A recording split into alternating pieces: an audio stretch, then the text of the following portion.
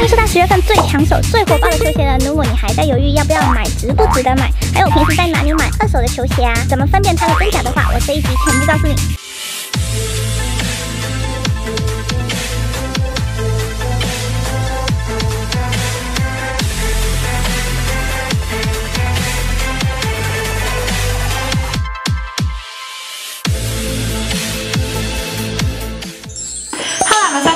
Back to the channel。时间过得真的很快，现在又到了十一月份上半月，我收集的球鞋分享了。那在开箱之前，如果你想要知道更多的球鞋最新资讯、发售时间，还有球鞋 shop shop 的消息呢，都欢迎你去订阅我的 Facebook，还有我的个人 ID。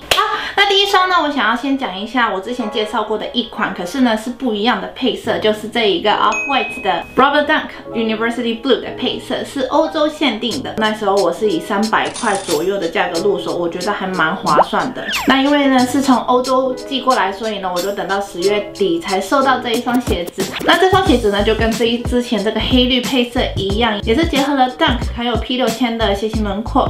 那这双鞋子呢，它是用银色的皮夹覆盖着网眼的面料的。那当然，在设计上的话呢，就是以白银为主，然后也是跟这一双黑绿配色一样呢，是用了橡胶的材质来呈现 Swoosh logo。那这一次它在鞋带啊、鞋底部分的气垫啊，还有在上面的几何图形上面是注入了浅蓝色来做点缀的。那这一个 University Blue 的大底呢，是橡胶的黄色来呈现，所以更加带出一点复古的气息。当然也少不了它最标志性的说明书字样，还有橘色的塑胶 zip tie。那上一次我开箱的时候呢，我没想到黑色穿出来的效果非常帅气。可是我那时候已经手贱的上网订购了这一双银蓝配色。我自己觉得啊，银蓝配色呢是比较适合呃女生去穿搭的。我觉得如果你是想要找一双 off white 的鞋子，然后又啊价格又比较 reasonable 一点的话，我还蛮推荐这两双的，因为这两双穿出来也是非常 catchy，就是走在街上的话呢也是非常扎眼的。那这两双鞋子不知道大家比较喜欢哪一双呢？也欢迎你在下面留言告诉我。好的，下一双呢就是十月二十四号的 EC Boost 三五零 V2，因为之前很多网络上的谣言都说这个是 Reflective，可是我跟我的朋友就一直不太相信，因为它的价格就是两百二十块。就是 long reflective 的价格，然后没想到收到的时候呢。我吓到了，它真的是 reflective，所以我就觉得还蛮值得啊做一个简单的介绍的。整双鞋子设计跟之前是大同小异的，三五零 V2 嘛，但是它最大的差别呢，就是在 Primeknit 编织鞋面上面的纹理走向，这一次呢是以白色、黄色还有浅咖啡色来做 Primeknit 的编织鞋身。这次在采用了奶油色的橡胶大底，再配搭色浅咖啡色的半透明刷条。那这双鞋子也是用了白色的闭合设计的鞋带，那。另外再附送一个同颜色的鞋带做更换的，所以整个出来的感觉更加的和谐，而且很温柔，更加接近 natural 的颜色。好，接下来呢就是其中一款的大款了。那第二月份的时候我开箱过它的铁灰色 metallic 之后呢，这一次它整个造型就跟那一双是一模一样的方案，只是用了偏象牙白一点的。旧黄色来呈现的，整个是走一个简约啊耐看的路线，而且你在这双鞋子上面呢，可以隐约的看到 OG 款的 AJ5 Fire Red 的影子，再加入了 Off White 一系列的标志性的元素。那前面呢是用了轻薄的 TPE 物料来做成的，呈现了一个。半透明的泛黄感，所以带出了一个非常浓烈的复古气息。那在细节上面，当然还有 3M 的反光银色鞋舌，然后 Nike Air 啊、German logo 啊、二十三字样啊、鞋扣等这些非常经典的元素。那在 Off White 的细节上面呢，就包括着 Off White 最标志性的半透明 zip tie，是用了同色系来做了一个呼应的手法，也包括了圆形的镂空设计啊、说明书字样啊。那大家如果你想要把这个镂空的地方剪掉的话，露出你非常俏皮的袜子也是可以的。那这双鞋子的最最大的重点呢，就是它运用了超经典流春风的鞋底啊，大家可以看到鞋底的火焰。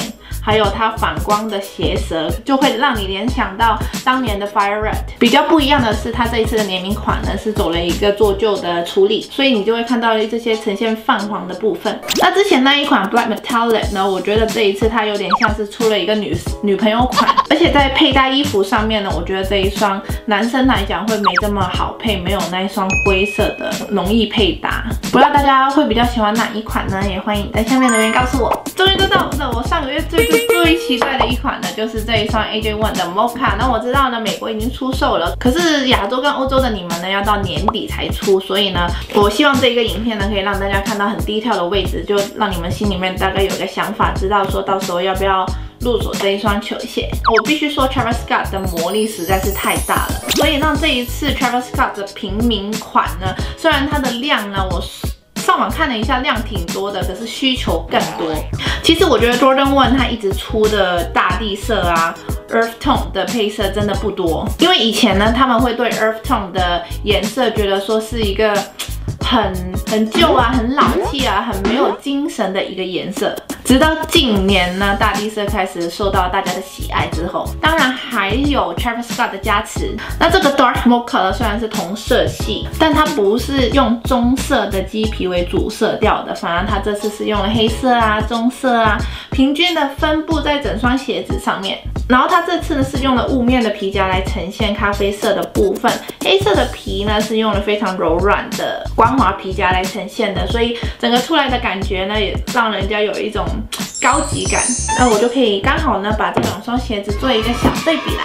那除了最大的差别是 Swoosh logo 相反之外呢，这次 Dark Mocha 的黑色的部分呢是从鞋头导泥板的部分一直延伸至鞋孔啊、鞋舌两侧的部分，还有加上它的 Swoosh logo，然后它里面的内衬也是以黑色来呈现的。Nike Air 的部分呢也是用了黑色。那除了颜色跟材质上面有不一样的地方之外，它在鞋筒的部分呢，Travis Scott 这一边上面。是用了黑色，然后 Mocha 的这边的部分呢是用了白色，中底的部分呢，Travis Scott 这边是用了米白色，Mocha 这一边的中底呢是用了白色来呈现的，然后大底的部分一个是用了棕色嘛，另外一个是用了黑色。可是除了这些之外，其实你上脚穿个衣服，呃，穿个牛仔裤把它遮一遮，其实就。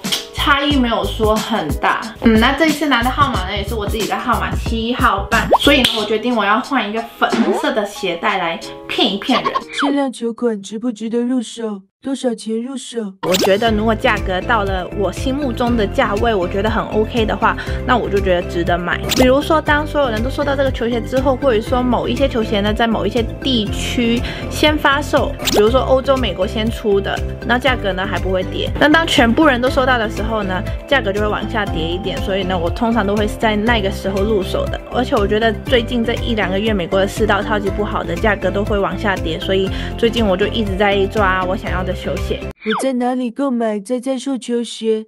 我通常呢都会在 Facebook Group 的 Private Group 里面去买，因为那些都会比较有保障。如果你要加入那些 Private Group 的话，你都要 fill in 你的 form，你才可以呃进去这个群组里面。所以通常都是比较 legit 的。那不同的城市会有不同的 group。然后呢，另外呢就是美国的 Offer Up，你放东西上去的时候呢，我通常都会选择面交。如果你要面交的话呢，一定要小心，因为那个是。你要跟陌生人碰面嘛，通常，所以那个会比较危险一点，所以出去的话最好有人去陪你。可是那个网站呢，通常价格都会比较低一点，而且如果是你常常跟他交易的，有一些 dealer 的话，你还可以跟他去杀价呢。我怎么分辨真假？通常我会用 check check 这个 apps，搞得好像我好像在帮他卖广告。可是那个 check check 的 apps 呢，通常就是你给他发几张照片上传过去，他们就会有专业的人士去看这个照片，就会知道说这个鞋子的真假。而且呃，这个还蛮。Legit 的很多人都推荐，所以我之前的 Travis Scott 的 Dunk 我也是这样子做，用这个 Check Check 的 apps，然后上网在 Offer Up 买的，所以我觉得这个还蛮不错的。那我这一集的球鞋分享就到这边了，如果你喜欢这个影片的话，记得按赞、订阅、分享，我们下一集见啦，Adios。